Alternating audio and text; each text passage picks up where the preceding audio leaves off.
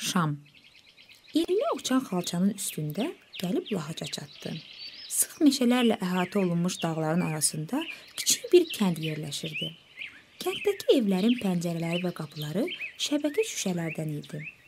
Dar küçələrdə yerləşən mağazalarda mis qablar, sərpuş, naxışlı şamdan, səhəng, aftafa, kabab üçün bəzəkli şişlər satılırdı. Meşədə odunçu ağacları baltalayırdı.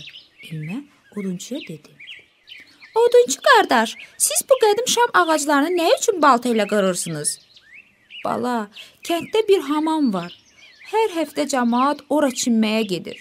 Şənbə günü qadınlar, bazar günü kişilər. Hamamı odunla qızdırırlar.